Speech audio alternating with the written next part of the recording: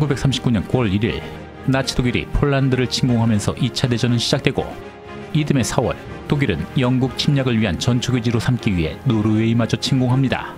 막강한 육상 전력을 가진 독일군에게 노르웨이가 점령되는 것은 시간 문제였죠.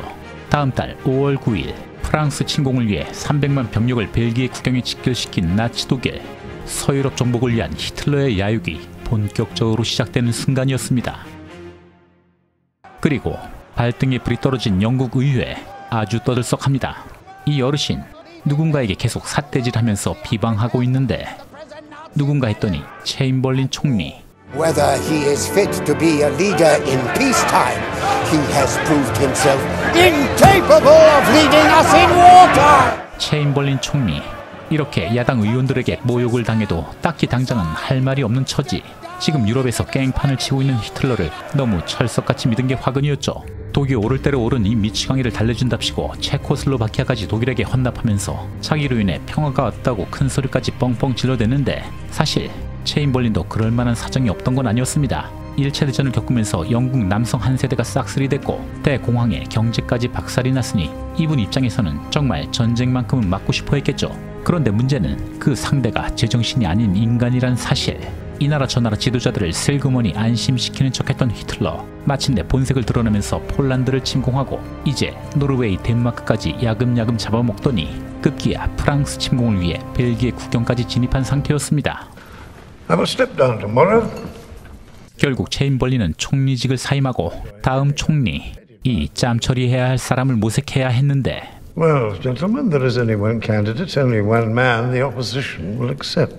결국 삽질의 대명사 윈스턴 처칠이 언급됩니다. 이미 1차 대전 해군 장관 시절 갈리폴리에서 30만 영국군을 거하게 말아드신 전력이 있던 처칠. 그래도 다른 강요들과는 다르게 히틀러가 애초부터 미친놈이라는 걸 예견한 인물이었죠. 삽질의 달인 처칠. 나름대로 젊은 시절엔 꽃미남이었고 소시적에 수학폭이 자라 인기 있던 보병 장교는 못되고 경쟁률 낮은 기병 전공을 그것도 삼수까지 해서 들어가면서 어렵사리 전기에 진출한 금수저 출신 도련님이긴 했지만 지금은 이렇게 잠자리에서 아침 밥상이나 받는 황소개구리가 되어 있었죠. 얼마나 움직이기 귀찮았으면 그 자세에서 그대로 전문을 작성하는 처칠. 국왕 조지 6세도 처칠 총리 임명이 영 내키지가 않습니다. 그동안 수없이 이룩해온 온갖 뻘짓들 Gallipoli, 25,000 dead, the India policy, the Russian Civil War, the... Right about Hitler. Well, even a stopped clock is right. Twice a day. 하지만 이 히틀러가 목전에 있는 급박한 상황에 딱히 총리를 맡겠다는 인물도 없는 상태 결국 총리로 임명됩니다. I believe we are to meet regularly. 조지 6세도 처치를 보더니 답이 없었는지 말더듬증이 도졌나 보군요. 그래도 처칠 가문에 영국 총리까지 나왔으니 이랬던 저랬던 집안은 축제 분위기. 이렇게 자신을 믿어주는 자녀들과 사랑하는 아내도 있고. Oh! 드디어 총리 업무를 시작하는 처칠. 전시 내각 총리로서 첫 의회 연설에서 전쟁을 맞이하는 자신의 방향을 제시합니다. Victory, however long and, and hard the road may be. 그건 바로 프랑스를 침공한 나치 독일에 맞서 영국은 끝까지 결사항전하겠다는 의지의 표현이었죠.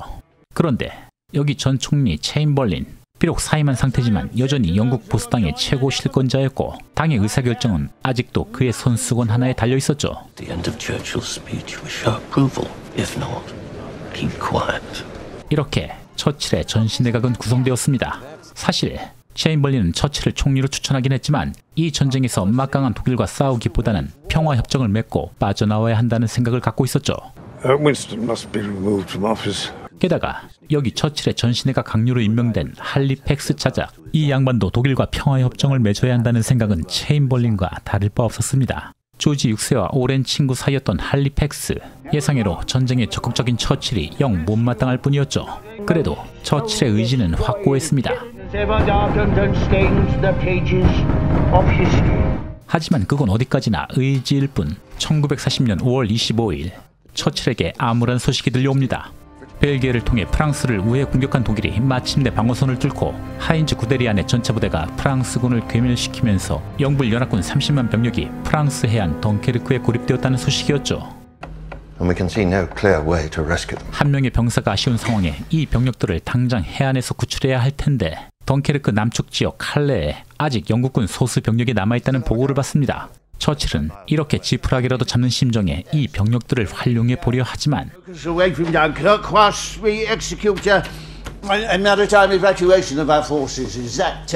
uh? 강요들이고 장성들이고 다들 부정적입니다. What is to stop Herr Hitler then? Winston, words, words, words alone. 예, 과연 저 미치광이한테 대화만이 해결책일까요? 초조해진 처칠. 이제 바다 건너 미국 대통령 루즈벨트에게도 배를 지원해달라고 통사정해봅니다. 하지만 당시 미 전쟁에서 중립을 지키고자 했던 미국 역시 도움이 되지 못했죠. The Neutrality Act we signed last year has tied my hands. Just can't swing it. 루즈벨트 심정도 이해 못하는 건 아닌 게 미국도 그해 11월에 대선이 있었고 아무리 대통령이라 할지라도 중립을 표방한 이상 이 상황에 영국을 지원해 준다는 건 삼선을 앞두고 있던 루즈벨트에게는 무리한 부탁이었습니다. 독일군이란 적 외에 또 다른 적과 맞서야 했던 처칠. 지금 이 순간 가장 외로운 사람이겠죠. 하지만 희망을 포기하지 않습니다. Civilian boats, uh, as many as you can get your hands on. 예, 모든 민간선을 차출해서 병력들을 구출하자는 발상이었죠. 무언가 작은 희망이 보이는 듯하지만 할리팩스의 부정적인 발언은 처치를 끊임없이 공격했습니다. Nothing inglorious in trying to shorten a war that we are clearly losing. Losing! 설상가상 신랄같이 믿고 있던 칼레 영국군 병력마저 독일군에게 개멸되어 버립니다. 잊을만 하면 또 나타나서 염장을 지르는 할리팩스. Out. Must be struck. 싸대기를 과연 이 처칠의 전시내각은 정상적으로 운영이 되고 있긴 한 건지 모든 상황은 절망적으로 보일 뿐이었죠.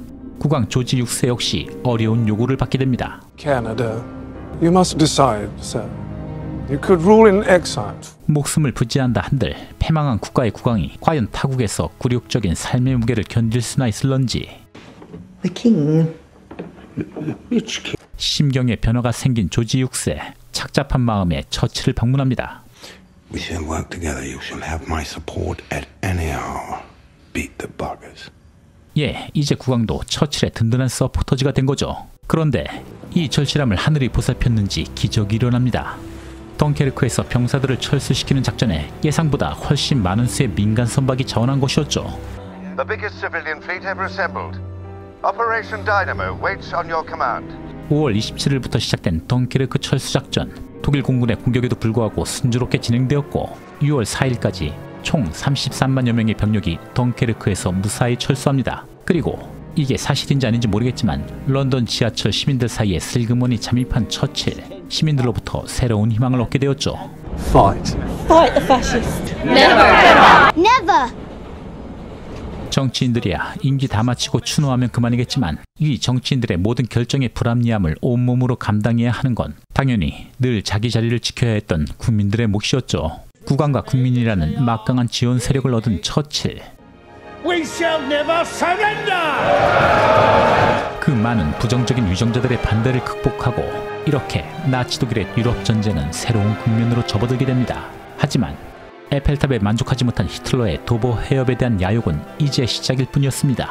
군사적 열세로 폐색이 짙었던 상황. 자신의 소속당인 보수당은 물론 전신회가 강요들까지 독일과 평화 협상을 해야 한다는 분위기 속에서 절친 미국의 도움마저 받지 못하고 고립무원에 빠졌던 정치인이기 전에 한 인간이었던 처칠.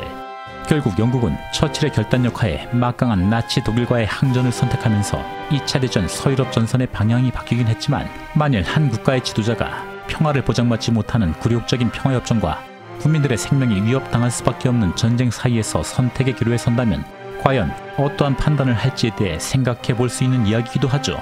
그래서도 안 되고 정말 그럴 리도 없겠지만 21세기 어디선가에서 온갖 전쟁이 일어날 정도로 한 치 앞도 바라볼 수 없는 지금의 국제 정세에서 만일 우리가 주변국 누군가에게 침략을 받게 된다면 과연 우리 지도자들은 어떠한 판단을 내릴까요?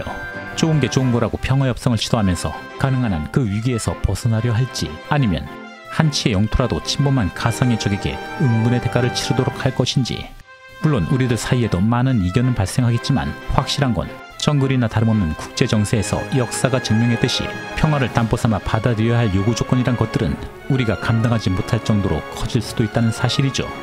타 민족은 물론 자국에 대해서도 역사적 과오도 많았고 다혈질의 고집불통 이미지로 가득했던 처칠. 국가 생존 위기에 직면한 상황에서 보여주었던 정치인으로서의 결단력은 히틀러라는 극단적 민족주의 독재자로부터 서구 문명을 지킬 수 있었다는 평가를 받으면서 영국인이 가장 존경하는 인물로서 여지없이 1위를 차지하는 모습을 본다면 어쩌면 그 모습은 지금의 우리가 고대하던 지도자의 모습이 아닐까 하는 생각이 들기도 합니다. 처칠이 전신의각 총리로 임명된 이후 덩케르크 철수 작전부터 영국 본토 항공전 직전까지의 상황을 보여주는 이야기 다키스타워 소개해드렸습니다. 더 흥미있는 수제로 다시 찾아뵙겠습니다. 감사합니다.